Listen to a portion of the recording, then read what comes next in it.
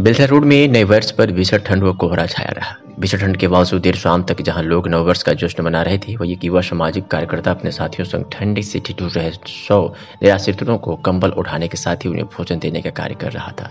उसके स्नेक कार्य से जहाँ गरीबों के चेहरे चमक उठे, वही नगरवासी भी उसकी सराहना करते नज़र आए।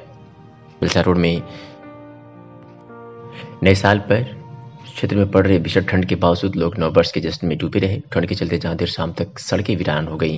वही वार्ड नंबर तीन, निवासी सामाजिक कार्यकर्ता नीलेश कुमार उद्देश्य और प्रदीप रात में सड़कों और रेलवे स्टेशन के आसपास ठंड से सिकुड़ रहे। गरीबों को कंबल व भोजन वितरित करते नज़र आया। उसके द्वारा किए जा रहे इस नेक कार्य से जहाँ ठंड से सिकुड़ रहे गरीब तबके के लोगों को राहत मिली, वही भोजन से उन्होंने अपना पेट भी भरा। सामाजिक कार्यकर्ता के कार्य से निराश्रितों के चेहरे खिल रही नज़र आए? उन्होंने इसके लिए सामाजिक कार्यकर्ता को दुआएँ भी प्रदान की। सामाजिक कार्यकर्ता द्वारा देर रात तक सड़कों के किनारे पड़े गरीबों को कंबल व भोजन वितरण का कार्य जारी रहा। इस दौरान लगभग एक सौ गरीब तबके के लोगों को सामाजिक कार्यकर्ता द्वारा कंबल व भोजन का पैकेट बांटा गया।